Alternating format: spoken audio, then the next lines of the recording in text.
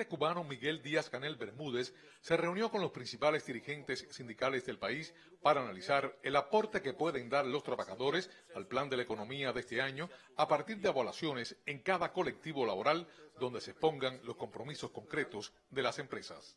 Y ese proceso ustedes lo van a defender eh, con, este, con este intercambio con los colectivos de trabajadores con relación al plan 2020 yo creo que tiene que ser, como ha planteado Ulises, eh, un proceso que sea profundo, que esté lejos de cualquier rutina, que sea un proceso que comprometa y convoque y además conmueva. La gente tiene que sentir que esa situación que estamos viviendo la tenemos que, que enfrentar entre todos.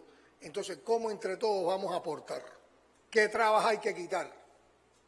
Para poder exportar más, para poder producir más, para tener más rendimiento, para tener más eficiencia. ¿Qué más vamos a producir para satisfacer necesidades de la economía y de la población? En la reunión se destacó que es prioridad mantener las medidas de ahorro utilizando eficientemente los recursos, incrementar las exportaciones y sustituir importaciones. Vamos a extrabar las fuerzas productivas, tal como está planteado en esa política. Vamos a dinamizar la economía, Vamos a potenciar la empresa estatal y quitarle trabas. Vamos a hacer el saneamiento empresarial que necesita el país. Vamos a buscar la adecuada dimensión y relación entre el sector estatal y el privado y el adecuado vínculo entre los actores económicos. Y vamos a seguir diseñando un grupo de medidas, una ruta de medidas económicas que nos sigan fortaleciendo y que sigan dando cumplimiento a esa política.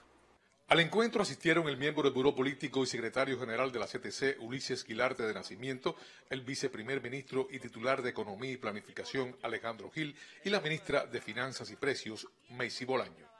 Hemos dado pasos en función de que se pegue lo más posible el, el salario al lugar donde se está trabajando.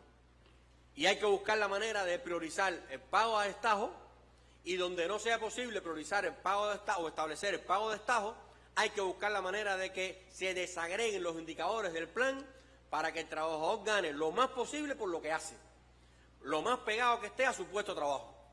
Y esa es una discusión que tenemos que también hacer con las administraciones.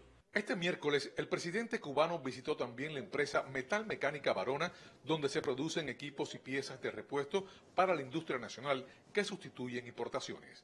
Conoció con la entidad se fabrican mil industrias para el procesamiento de frutas y vegetales, fábricas de queso y de conservas para procesar salsa, puré y pasta de tomate y plantas potabilizadoras de agua, entre otros equipos.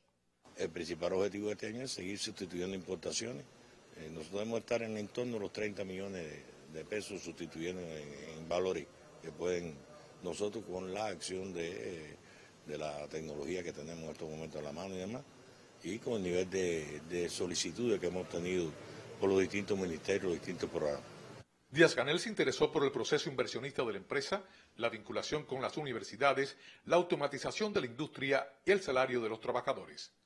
Durante el recorrido por la fábrica, el presidente cubano dijo que hay que eliminar las trabas en la empresa estatal socialista y la metal mecánica varona es un ejemplo de lo que se puede hacer en la industria nacional. Boris Fuentes, Sistema Informativo de la Televisión Cubana.